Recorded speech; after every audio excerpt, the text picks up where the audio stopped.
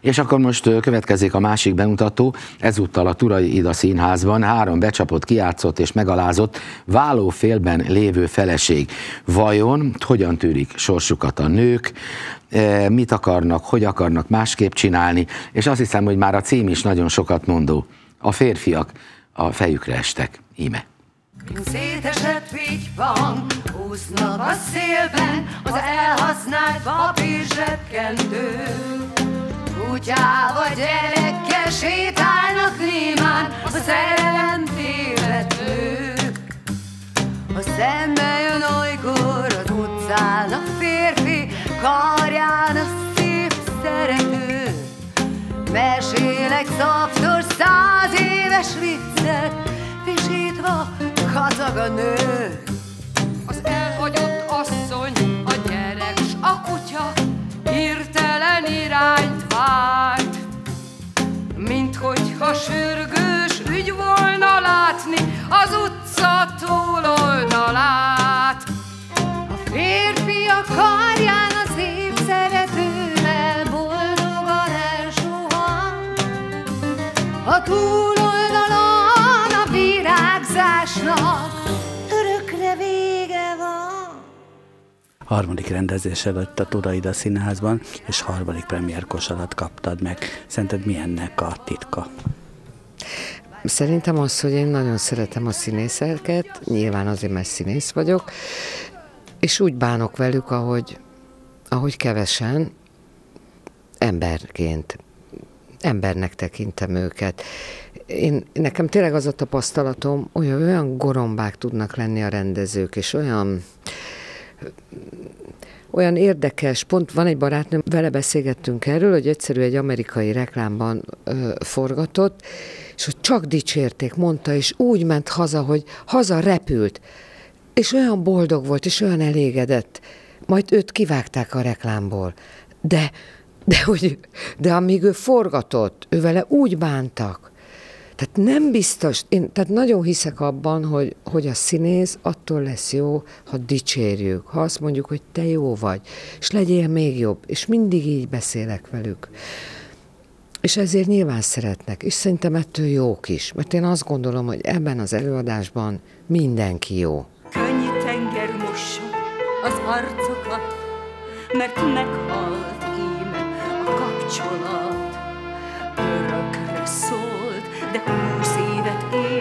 mert valaki sajnos félre félt. Töröld a bút, és kerüld a könnyet, dob ki az összes szerelmes könyvet, vág ki a zakot, szoknit, kacsát, szellőztes ki a hímállat szagát. Azt hitted ez itt a végállomás, de innen is indul vonat, csak az más. Csak más, csak más, csak más az irány. De hidd el, nem lesz semmiben hiány. Én dr. Hetz Adélt játszom ebben a darabban. Egy pszichológus nőt, aki vállásterapeuta.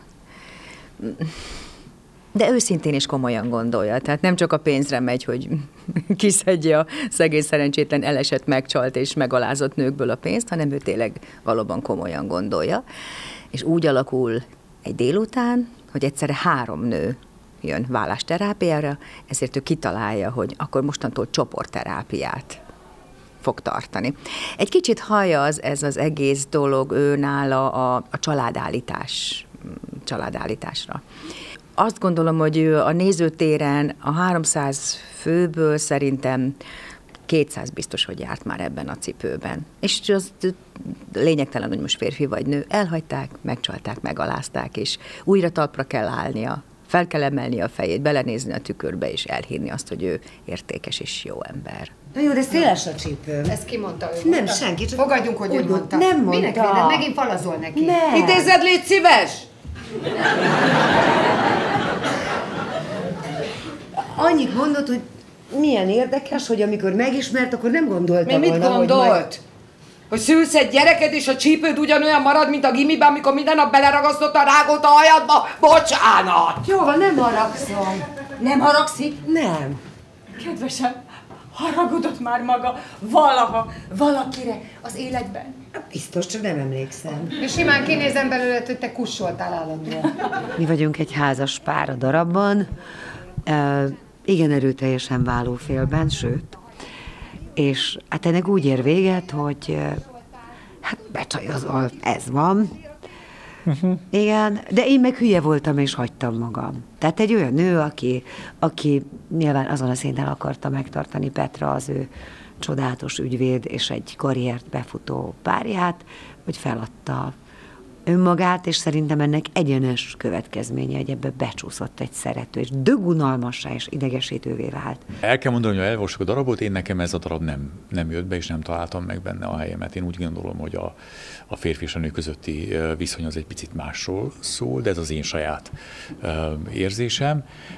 Megpróbáltam azért úgy nekiállni az egésznek, hogy természetesen nyitott szívvel, mert, mert meg kell oldani, ez egy feladat, egy izgalmas dolog ilyenkor is helytállni, és azt kell mondjam, hogy Enikőtől és a többi nőtől én nagyon sok jó segítséget kaptam. Elit alakulattal bármikor, ha azt kérdi tőle a boltos a hentes, hogy hozzak-e széket, mert csápadt a kedves. Ha felhív a főnök, hogy maradj ma ágyban, mert szóltak a lányok, hogy szerintük gáz van. Ha rájöttél végre, hogy nem hagynak élni, ha naponta kaptad, hogy kevés vagy bébi, megvest a gyerek, s a kép aláírja, Mamika, mikor még mosolygott néha. S ha maradt még mindig kurázs itt benne, de pontosan tudom, hogy nem itt kell lenne. Éppen a burkot, és tárcsázd a számot, és álmod most újra a rég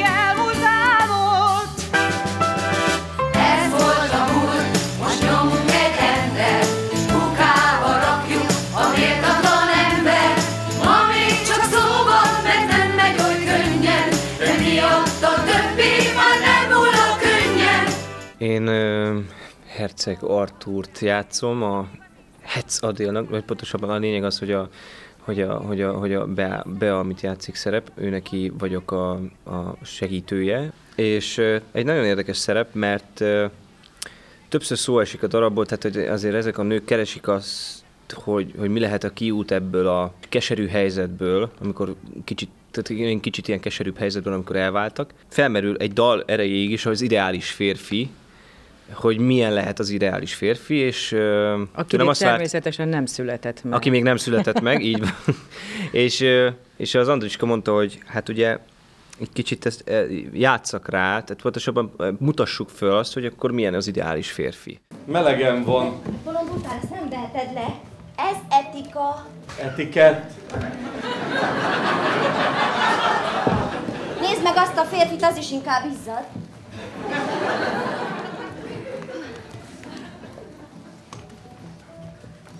Jó napot! Jó napot! Jó estét. Szép időnk van. Gyönyörű. Csak kicsit füllett a levegő. A... Maguk is a fehér nemű bemutatóra? Nem, mi a fegyverkiállításra jöttünk. Inkább keresek valami aperitívet, örültem. Bunkó. Szerintem is. Te vagy a bunkó mucika. Ne izgasd föl meged át a dekoltázsodnak. Rajtad bosszankodom, Dezső. Lehetnél egy kicsit kooperatívabb. Reluxáljál, Dezső. Nagyon sok helyen nem veszik észre a hajszárepedést. Én azt gondolom, hogy, hogy ö, bármilyen példát föl lehet hozni, bármilyen típusokat meg lehet mutatni, mindenhol van hajszárepedés. Tényleg mindenhol hajszárepedéssel kezdődik. És aztán, hogyha ha a kis gödör, azt még, azt még be lehet hozni. A szakadékot már nehéz. És ezért, ezért szép tulajdonképpen, hogy, végül is nyitva marad a, a kettőnk története, de lehet sejteni, hogy, hogy közöttünk még, még nem tátong akkora e, e, szakadék. Köszönjük, hogy velünk voltak ma este. Ha marad még mindig urálni benne, és sejted már te is, hogy mit is kell tenned. Hát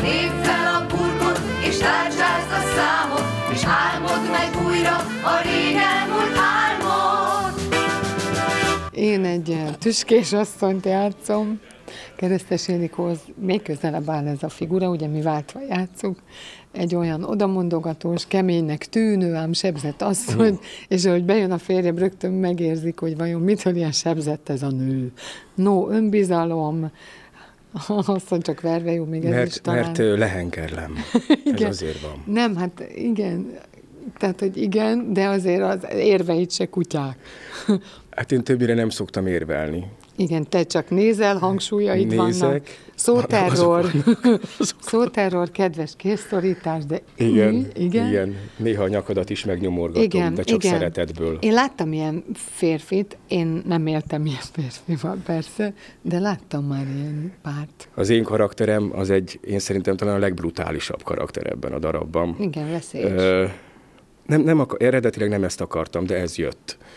Én egy érzékeny lelkű fiatal embert szerettem volna játszani, nem ezt sikerült. Egy szimpatikus. egy szimpatikusat, akit, Akit lehet szeretni. Tényleg ezt szerettem volna, csak aztán nem ez jött. Gondolkodtam, mit is csinál a színház? A színház, egyáltalán művészet ugye jó esetben reflektál arra, mi történik éppen körülöttünk.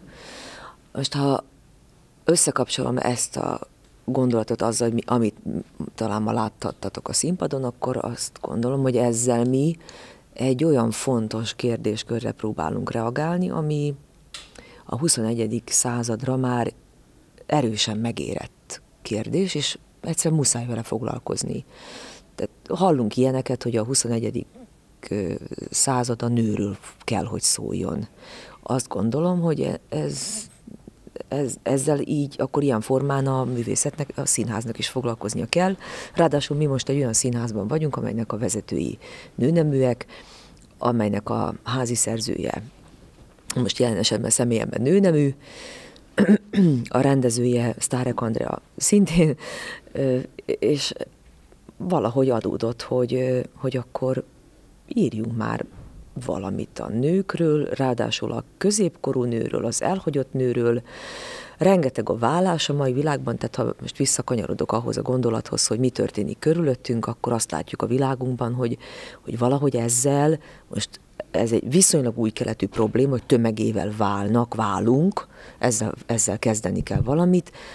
Ebben a történetben, vállás történetben az egyik leginkább érintett korosztály, és nem a középkorú nő, akit éppen elhagynak, akit esetleg éppen lecserélnek egy fiatalabbra.